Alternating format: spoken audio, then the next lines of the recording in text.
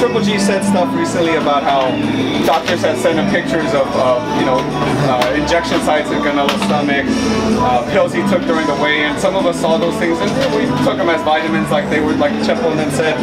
Um, but I guess after that news, it kind of that information was that new to you guys? Was it just kind of like the, the injection site thing and, and the, the, vitamins and all that stuff? Was this all kind of stuff that doctors just kind of told you after the positive result? Uh, that's something that, that Golovkin um, said that was said to him. Uh, I, I, when he said it, I had no idea what he was going to say.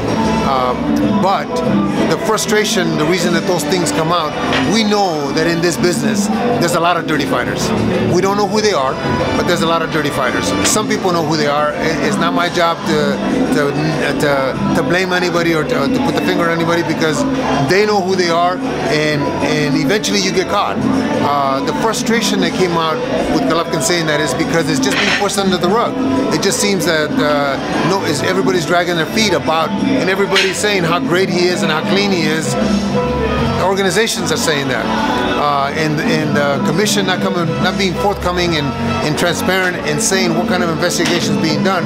I think we all deserve that. I think we all pay great money to see a fight. Uh, I think that uh, we deserve some kind of answers, and that's what the frustration was with him.